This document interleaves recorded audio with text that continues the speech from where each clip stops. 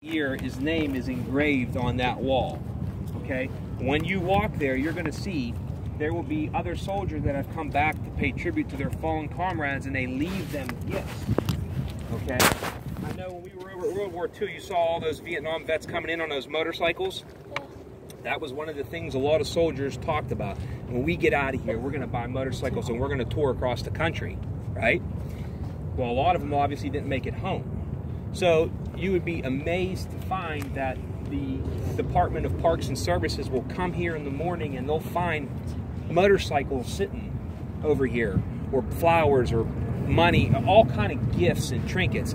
So much things that the government actually started to take those things and store them in a facility, and I'm sure is going to be a museum in the near future of all the things that were left by fellow soldiers for their fallen comrades.